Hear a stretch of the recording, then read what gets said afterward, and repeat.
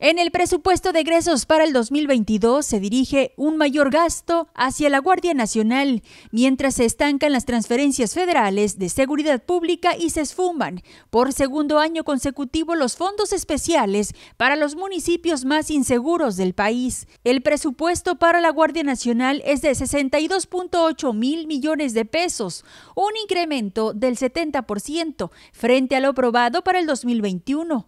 Al mismo tiempo, las transferencias federales destinadas a la seguridad pública local se quedarán sin cambio con respecto al 2021, 8 mil millones de pesos, monto 63% inferior frente al máximo de la última década, alcanzado en 2016, reveló la organización civil México Evalúa. Para la Alianza Mexicana de Abogados, concentrar la mayor parte del presupuesto en una sola fuerza del orden y descuidar a las policías estatales y municipales derivará en consecuencias fatales para el país, en donde la seguridad pudiera alcanzar niveles todavía mucho más preocupantes.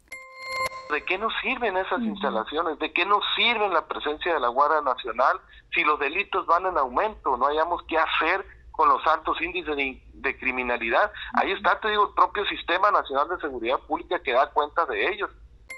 Según la Organización Civil México Evalúa, la asignación del gasto del gobierno para el 2022 busca seguir fortaleciendo con recursos a las políticas para la militarización de la seguridad pública. Sin embargo, al mismo tiempo se abandona a los policías civiles y municipales. La desaparición del Fortasec para el ejercicio fiscal 2021 acabó por desmantelar las estrategias de fortalecimiento de la seguridad de los municipios más afectados por el crimen.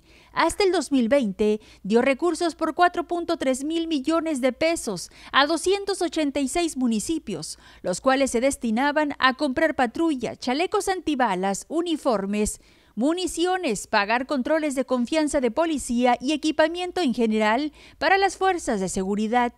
Carla Beltrán, Mega Noticias.